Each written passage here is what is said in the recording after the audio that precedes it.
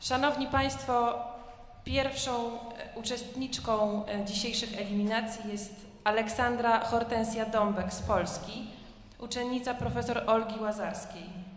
Więcej informacji na temat uczestniczki znajdziecie Państwo w książce konkursowej pod numerem 21. Aleksandra wykona następujący program.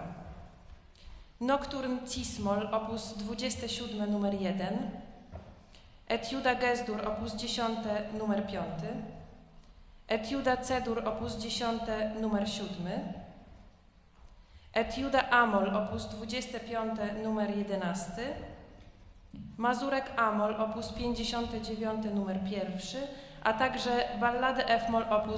52. Ladies and gentlemen, the first participant of today's preliminary day is Aleksandra Hortensia Dąbek, who is a pupil of Professor Olga Łazarska. Further information can be found in program book over the number 21.